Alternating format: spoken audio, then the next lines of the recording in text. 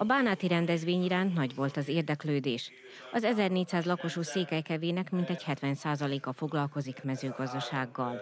Gondolom, hogy sokaknak majd fog segíteni, hogy pályázati lehetőségekhez fognak jutni, oly módon, hogy vannak megfelelő ért- értesítéseik, információik, úgyhogy úgy, úgy értékelem, hogy hasznos.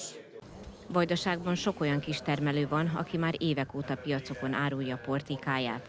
Ezeket támogatja az a kistermelői rendelet, ami a növényi eredetű termékek feldolgozását és árusítását is lehetővé teszi.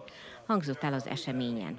Külön öröm számunkra az az, hogy a kistermelői rendetet el sikerült fogadtatnunk, és most már nem csak az állati eredetű termékekre, hanem a növényi eredetű termékekre is meghozta a héten a mezőgazdasági miniszter ezt a szabályzatot, ami azt hiszem, hogy nagyon-nagyon sok termelőnek fog segíteni az elkövetkezendő időszakban. Ótot Robert, tartományi mezőgazdasági titkárhelyettes az eseményen kiemelte, abban érdekeltek, hogy segítsenek minden egyes pályázni vágyó termelőnek.